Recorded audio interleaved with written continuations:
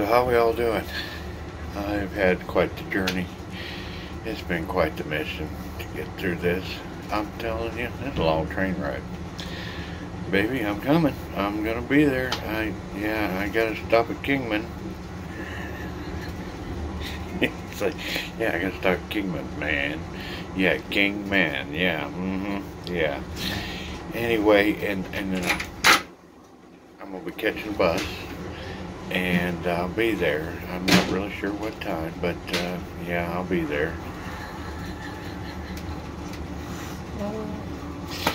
Hopefully, got somebody to pick me up. That would really be awesome.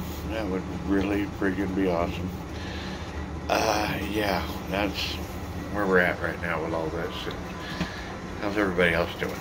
Yeah, I'm definitely beat up. One of them long trips. Anyway, uh, yeah, it's what had to happen. And we, we had to show that, yeah, it's just not the holy city. It's the whole damn planet, guys. Everywhere, you know, you just got to understand. It's a simulator. It's always been.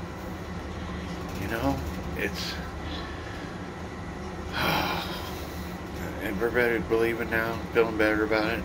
Yeah, we had some funky things go down. They sent me with reservations to uh, Vegas, New Mexico. and then ended up having to pay double to, get me on over to the, uh, yeah, yeah, but he wanted me to ride on a train. I've never rode on a train, so he worked it out to where I could.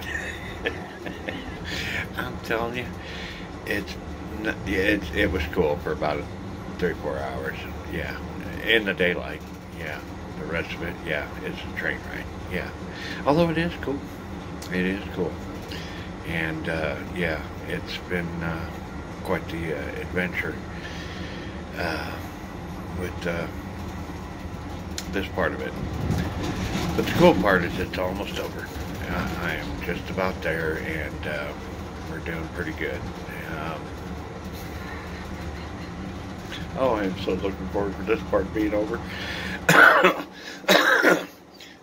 Going to it ain't there at the damn bus station. I'm telling you, that's to be, uh, and it scares me because he always tells me this shit that's to be there, and it's not. You remember back when he told me to go talk to the nurse at the hospital, tell him I was the last prophet, and if I explained it to the psychiatrist, they'd understand avatar theory. Yeah, yeah, and then they put me on pills that totally screwed my damn transmission, and yeah, yeah, that was not a good trip hopefully this one's a little more successful. Yeah, yeah.